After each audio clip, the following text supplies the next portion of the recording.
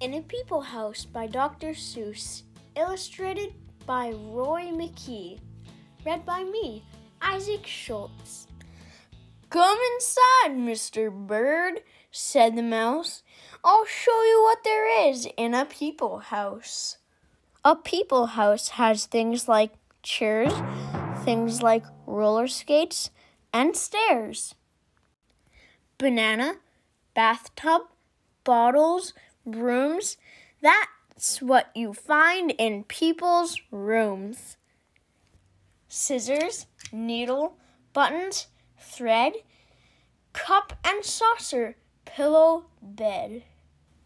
These are donuts. Here's a door. Come along, I'll show you more. Here's a ceiling. Here's a floor.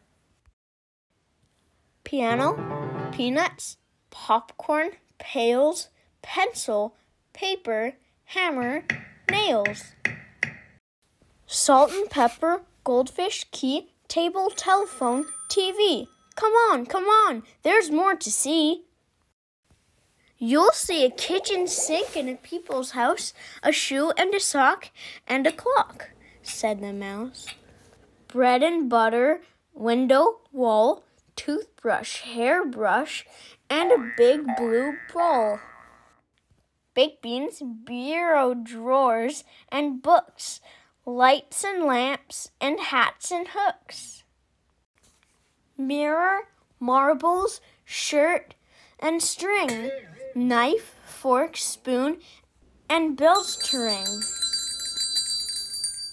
Doll and dishes, teapot, trash. Look out below! I'm going to crash!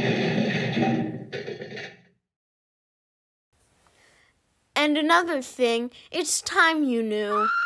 A people house has people too. And now, Mr. Bird, you know, said the mouse, you know what there is in a people house.